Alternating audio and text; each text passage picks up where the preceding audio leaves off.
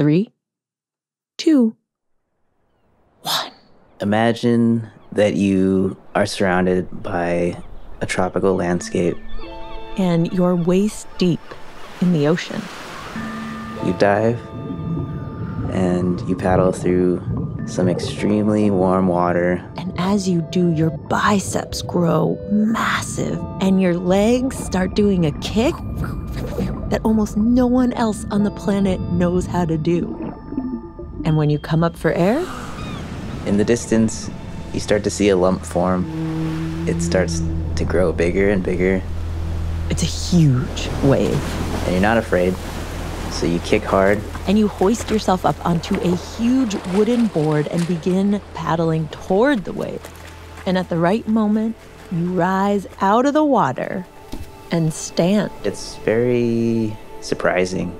Like you're sort of harnessing this energy that's been sent out through a storm, like hundreds of miles away, and you meet it right at the perfect moment.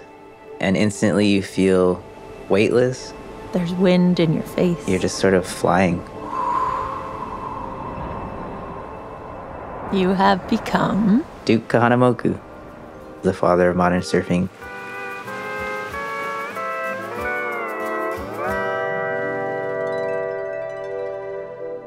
Okay, now is the part where I make you sing the theme song with me.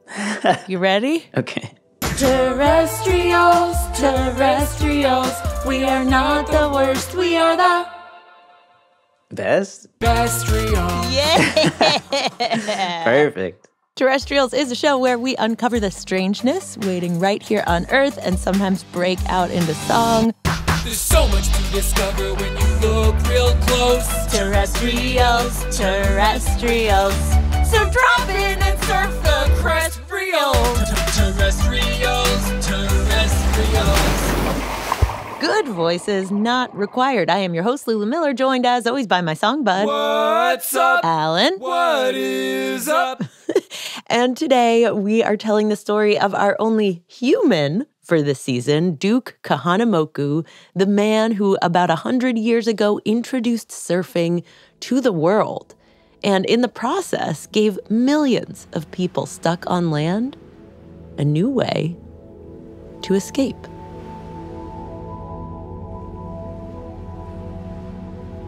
And I do want to mention that there are parts of today's story that deal with something sad, including somebody who died and the feelings of grief that come afterwards. If that isn't something you want to listen to today, just hang on till next week for our season finale. And if you are still here, let's meet today's storyteller, AJ Dungo. That's me. He is a skateboarder, a surfer, an illustrator, and he recently wrote a whole comic book. I did a ton of research. A totally true comic book all about Duke. Yeah. Before we get going on Duke's story, can I just ask have you ever had any cool animal encounters while surfing? Oh my goodness. Every time I go out, we just see something special. I've seen seals, stingrays, a baby whale. Wow. Dolphins are a huge one. They will ride a wave. Hmm. I've been in situations where I see a whole pod coming straight towards me. The times that it's happened, I've ridden with them and it's so No. cool. They like, No. Yeah. No. What? yeah. Wait, so like you're riding and are they I'm picturing you like in a posse and they're like on either side and you're all riding. What is is it kind of like that? Uh, it's more like fe- fear driven. Like I'm trying to get away from them. Like I don't, I'm not, I'm just scared that I'll be attacked or. Okay, I'll change the musical moment there. Yeah. I was thinking it was like, but it's like, Yeah. wait, and so, and are they ride? What do you mean they're riding? you Like, see their shadow beneath the water and they come towards you, they'll turn really quickly and exit through the back of the wave. You see them get air. And you know, as a surfer, we're thinking like, you guys are missing the best part of the wave, and maybe they're thinking, you guys are missing the best part of the wave. did you grow up loving the water? no, I no no not at all. I was uh, terrified. I would just sort of sink. The feeling of starting to swallow water and trying to open your eyes in chlorinated water and it just burns. It wasn't fun to get out of your comfort zone.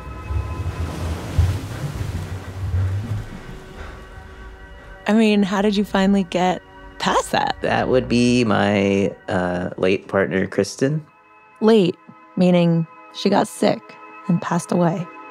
We were high school sweethearts, and she was this fearless, confident, beautiful surfer. And she didn't stop surfing even after she had a surgery that made her lose her leg. I think it was seeing her pick up a board and go out and charge with a smile on her face and ruin her prosthetic leg in the process. I was like, man, when you're in the presence of someone like that, you want to do stuff to impress them, obviously. So he finally put his fear of water aside, hopped onto a surfboard, and wobbly tried to stand so that Kristen would think he was cool. Yeah. It worked. And when AJ thinks about how they were able to fall in love while standing on surfboards, and then later, how he was able to get through the worst hurt of his life in losing her, he sees Duke. Despite time and space, there is a connection. To understand what he means, we need to go way back over a hundred years ago to a time when there probably weren't any surfboards in Southern California. We're going to zoom thousands of miles over the ocean to the island of Oahu in Hawaii. The year is 1890, and the island is a lot quieter than it is now. And a little baby boy named Duke is born into a big family in the morning, through the windows, they say, Hooey! Anybody home? Hooey! This Let's go to the beach. is Heather. Kina'u Paoa. Duke Kahanamoku is a great grand uncle to me. She grew up with a big framed portrait of Duke hanging on the wall and hearing stories about him from people who knew him well. Do you think Duke was ever afraid of the water? Oh, no, no. She tells me that from the time Duke was they tiny, lived right on the beach. his dad and uncle would paddle him out in a canoe and toss him into the waves. You know, their playground was the ocean. I want to read you this passage. AJ pulls out something that Duke himself had written. I hardly remember whether I learned how to walk or swim first. Reading Duke's words for the rest of this episode is Hawaiian radio host Makani Tabura. Out of the water, I am nothing. It's like someone who's so much more comfortable in water than land. As a little boy, Duke would bodyboard on flattened kerosene cans. You're always going to figure out something to do to ride the waves. And as he got older, he started using tools to shape massive planks of wood that would help him harness the power of the wave to ride for even longer and faster. He had to gather the wood and then he smoothed it out. Now, Duke by no means invented surfing. It had been around for hundreds of years in Hawaii and in other places. It could have originated South America where people would ride the waves on these little reed boats called caballitos. Others say surfing started in Polynesia or Africa. It's impossible to know for sure when or where the first human realized that by slipping a board beneath them, they could stand on water. But by the time Duke appeared, even though surfing was still unknown in most parts of the world, it had become a significant and even spiritual part of Hawaiian culture. Surfing is the greatest thrill of my life. Every day of the year, the water is 70 degrees, day and night. The waves roll high. I take my sled, coast down the face of the big waves that roll in at Waikiki. But as Duke turned 11 and 12, this sacred part of his life came under threat. Around that time, more and more settlers and tourists were coming to the island, grabbing up land and building strange new hotels and schools. And with them came new laws and rules about how Native Hawaiians should live their lives. They're being told their way of life is incorrect. There has to be an activity for someone to escape. And for him, it was surfing and returning to the water.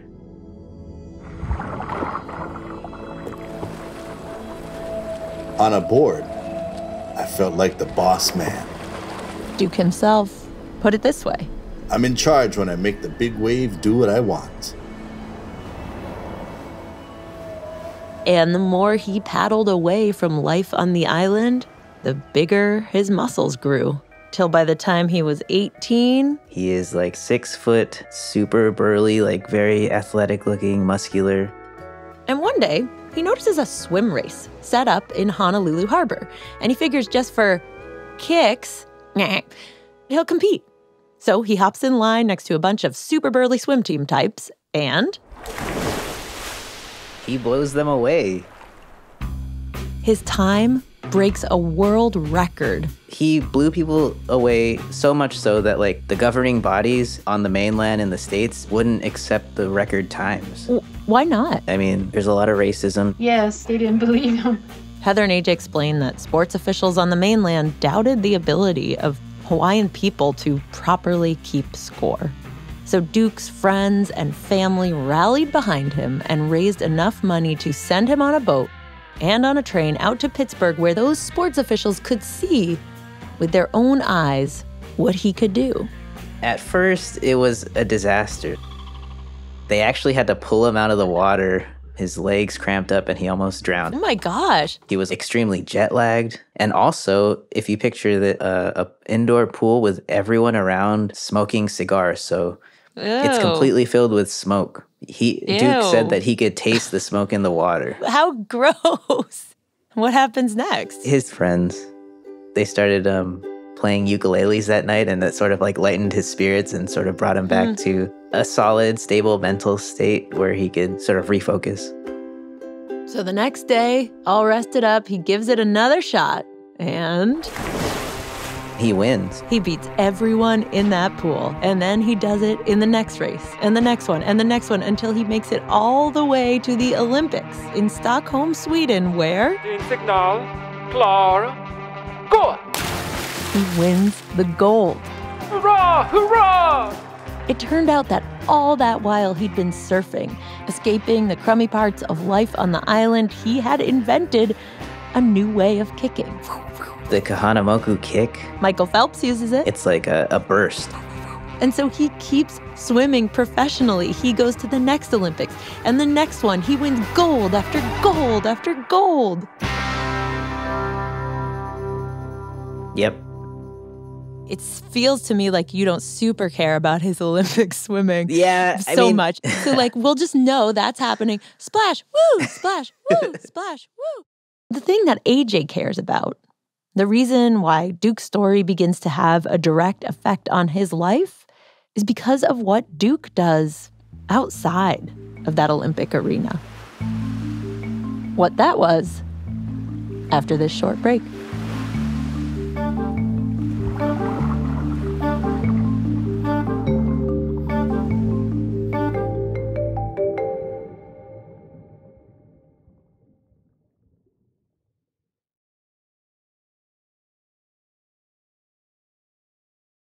Terrestrials is back.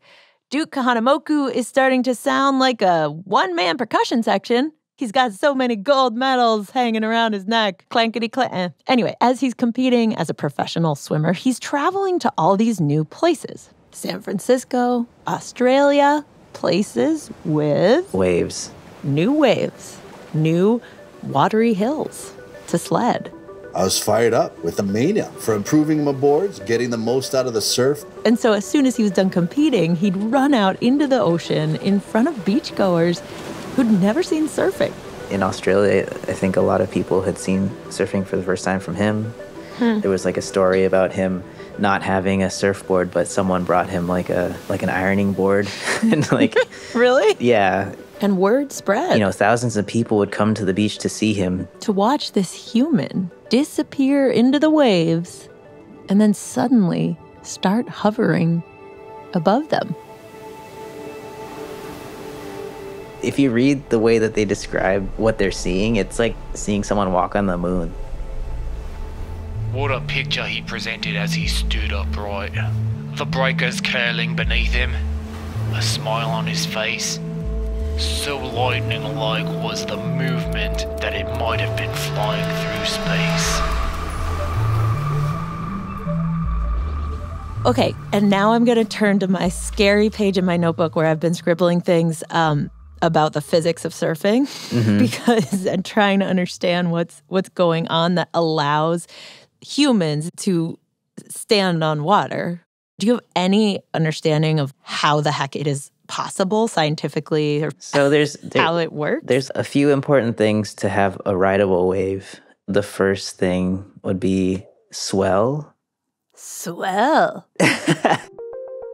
AJ explains there are so many factors at play the swell of the wave, the speed of the wave, the slope of the ocean floor, the size of your surfboard, Your height, your weight, your body type. how gravity is pushing down, and buoyancy is pushing up, and thrust is pushing forward, and drag is going back. Another factor is wind. So if there's wind blowing out to sea, that's the sort of condition that you really hope for. That's weird. Wouldn't wind coming from the sand slow the wave down and, and, and kill its mojo? Well, that's kind of like what you want because if you have onshore winds, which is the wind blowing towards you, there's nothing to hold up the water to make it into that perfect curl, that, that crest. And if you zoom into that crest, this is where things get really wild. Because it turns out, in a wave, most of the water particles aren't really moving that much. The particles in the water are kind of staying in place, and this mysterious orb of energy is just passing through, hmm. making it seem like it's undulating. Except, AJ explains, at the crest. The little white part that you see, that's where the water particles are undergoing their greatest acceleration. And that makes them faster than the underlying wave. So they're shooting, like they're flying off the top of the wave before falling under gravity's influence. So they just get like a momentary break from gravity? Yeah, they they're sort of in their own moment.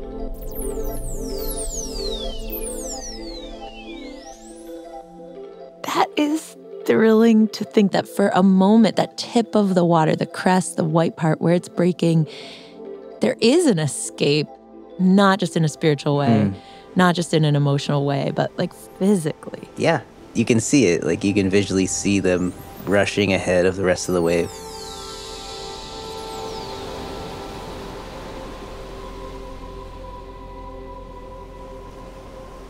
So back to Duke, sea spray on his face, hurtling toward the Australian shore, looking like a wizard, hovering over those waves. That knowledge, this complicated set of physics that scientists are just barely able to figure out, but Duke had mastered. Instead of hoarding it to himself and probably earning fame for looking like he had some magic trick, he shared it. So many of the photos of Duke's later life show him teaching people how to surf, bringing others onto his board, sometimes onto his shoulders. Do you have any mixed emotions about him sharing surfing? No, no. Absolutely not. You can't help but to share it. if you can spread some happiness, that's so much more fun than trying to keep it all to yourself. So I I really respect what Duke did, taking something that was sacred to his people and and sharing it with the world. And fun wasn't the only thing he spread. One day at Newport Beach, Duke saw a ship go down in a storm, and he got on his surfboard, paddled out, and ended up saving eight people's lives who were drowning. He's the reason why lifeguards now use surfboards today. And AJ, even though they never walked the earth at the same time, kind of knows what it feels like to be saved by Duke. He kind of changed my life, and it's all from surfing. Without Duke, AJ may have never gotten over his fear of water, may have never been able to step on a surfboard and make Kristen fall in love with him, and then later find a way through the pain after she died. AJ says that after losing Kristen, surfing was one of the only things he could do to feel okay. I think of Kristen often when I'm surfing, and she's very much um, integrated and, and a part of the places that I visit. Memories sort of flood in and come bubbling up. A song, he says, a special song that the two of them shared together sometimes comes bubbling up too. Uh, it goes, I love you for sentimental reasons. I hope you do believe me. I'll give you my heart. it's it's a song that brings me a lot of comfort. And out there, surrounded by the music of the waves, he says it's like he escapes for just an instant the world in which she isn't here. Yeah. Um, it's sort of time spent together. And he can imagine an alternate universe where Duke didn't share surfing.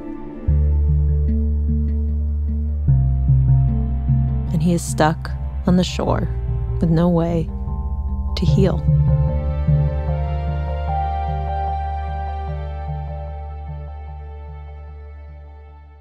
But thankfully, that wasn't the choice Duke made. And today, out at Waikiki Beach, there stands a larger than life bronze statue of Duke and his surfboard, welcoming people out into the water, out toward his true Home.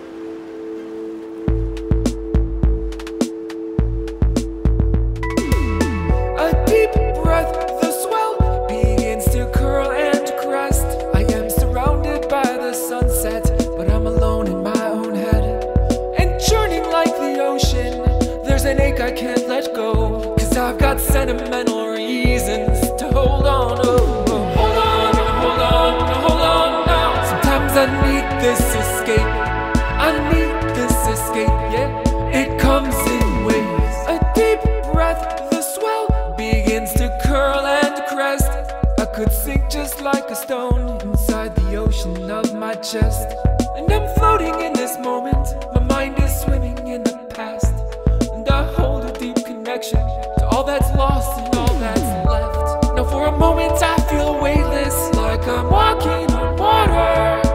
Ocean there beneath me and the wind against my face. Every memory flows through me as the crest begins to break. I am plunged under the weight, yeah, it comes in waves. Hold on, hold on, hold on now. Sometimes I need this escape. I need this escape, yeah, it comes in waves.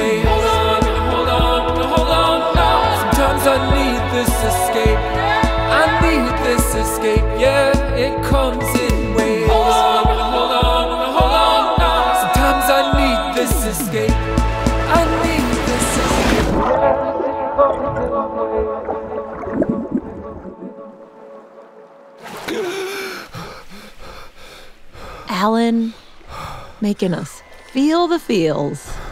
Goffinski.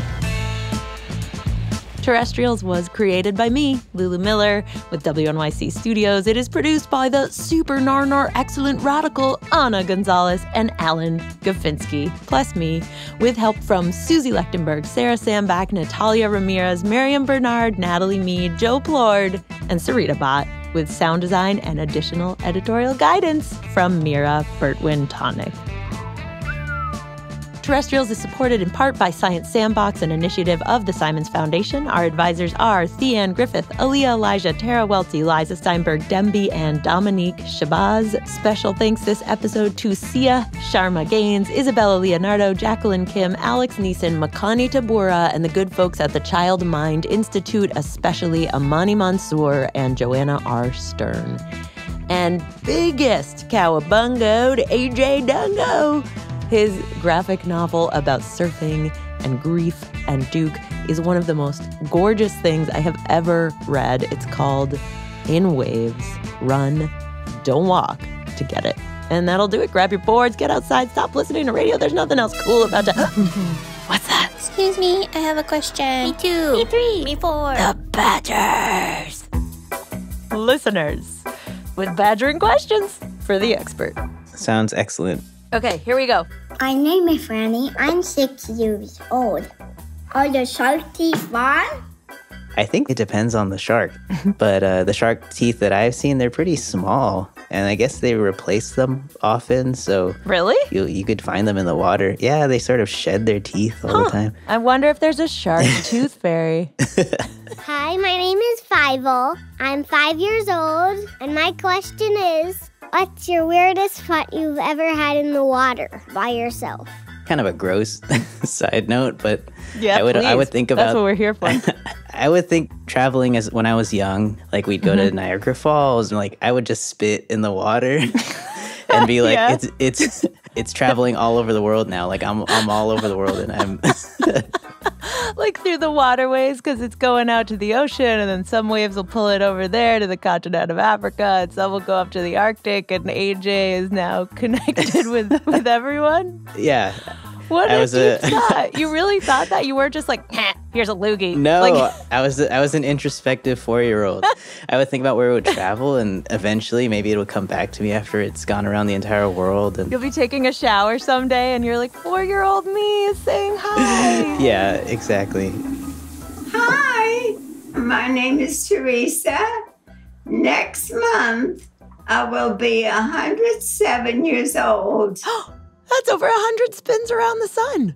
Does the moon have an effect on the surfing? Yeah, definitely. So the moon affects the tides, and people can go surf on a full moon out at night. Oh, You know, oh. like there's an, enough light out there, you can go surf in the night in the moonlight, literally. Oh, that sounds like so relaxing and surreal and incredible. People love it because there's no one else out. It's just you and the waves.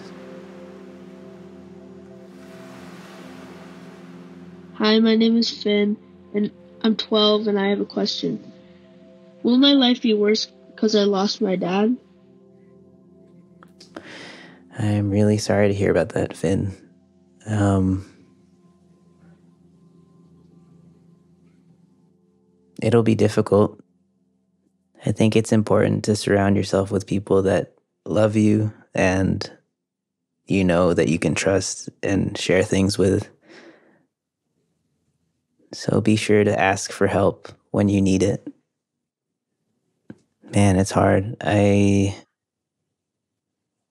I, had a teacher that had lost his wife and when I when Kristen passed away, he said something that really it stuck with me. He said that you may never experience closure, you just become familiar with the absence.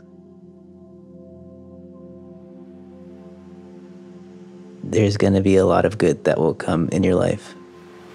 And you know, you have memories you made with your father that stay with you forever. So Mm.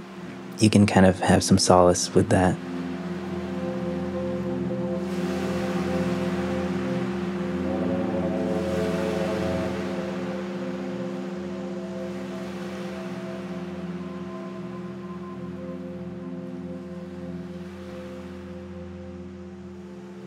That'll do it for today.